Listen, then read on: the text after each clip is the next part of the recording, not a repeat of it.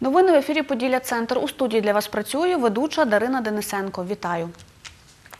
Майже 6 мільйонів гривень вимагає стягнути з Російської Федерації вдова загиблого в зоні АТО військовослужбовця Збройних сил України. Про це повідомила прес-секретар Хмельницького міськрайонного суду Алла Плінська. За її словами, до них надійшов позов від хмельничанки до Російської Федерації про стягнення моральної шкоди в розмірі 180 тисяч євро. Її чоловік загинув у червні 2015 року поблизу села Опитне Донецької області, під час розвідки натрапивши на мінне поле. Тоді військовослужбовець отримав травми несумісні з.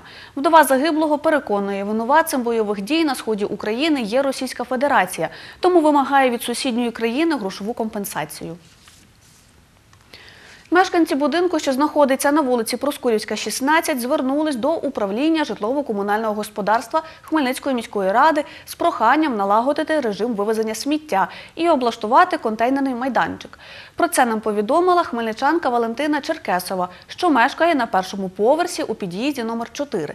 Жінка каже, під вікнами її квартири розміщені сміттєві баки. Через неприємний запах у помешканні вона їх не відчиняє. Мусорні баки не повинні стояти відкритими цілий день. І ці мусорні баки повинні вигружа... е, в- виставлятись під нашого дому за час до того, як приїде е, машина за мусором е, від спецкомунстранса.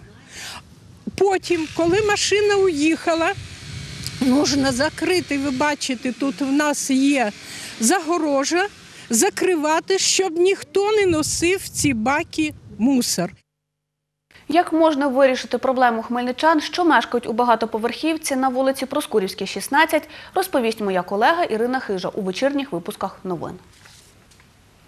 Сьогодні до 6 години вечора рух вулицею Зарічанська обласного центру буде перекритий через укладання асфальту на проїжджу частину на перехресті з вулицею Свободи. Про це повідомив прес-секретар патрульної поліції області Роман Мартинюк. Водіїв просять планувати свій маршрут заздалегідь. 154 тисячі декларацій з лікарями підписали хмельничани. Це більш ніж 57%. Про це розповіла заступник начальника управління охорони здоров'я Хмельницької міської ради Людмила Слободяник. З лікарями міста Хмельницького підписують декларації і мешканці міста Хмельницького, і законодавчо не заборонено е, мешканців інших територій. На сьогодні підписано понад 154 тисячі декларацій, що складає 57,4%. Всі мешканці е, міста або ті е, люди, які хотіли би зорієнтуватися, повинні були це зробити вже. А хто ще не встиг, то я запрошую всіх звернутися е, до своїх лікарів і підписати декларації. Мушу зазначити, що в Міністерстві охорони здоров'я розробляється така система, яка обмежує кількість пацієнтів.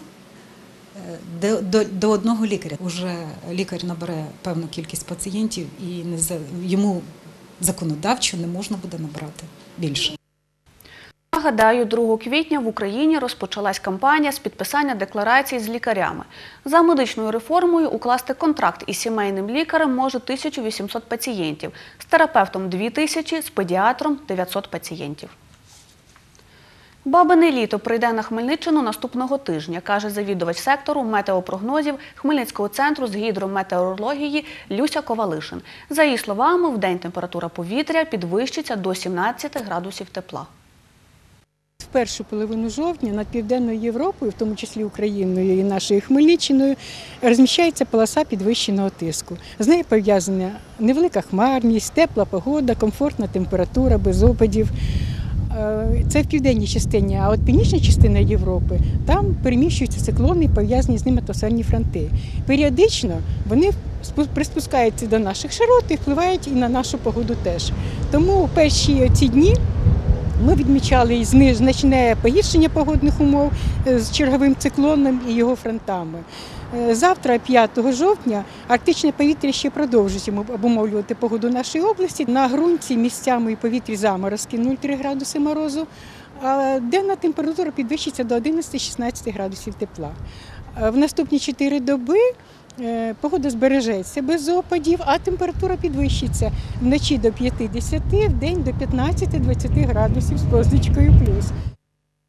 Сьогодні о 12.30 в Хмельницькому на стадіоні Поділля розпочався чемпіонат області з легкої атлетики. Повідомив головний суддя змагань Микола Балицький. Змагатимуться юнаки та дівчата 2002 року народження та молодші від них спортсмени. Розрахований чемпіонат на два дні. Сьогодні в програмі біг на короткій й середній дистанції, потрійні стрибки, стрибки в висоту, штовхання ядра та метання спису. Організатори очікують приїзду представників усіх міст та районів області. Це була остання інформація на цю годину. Побачимось.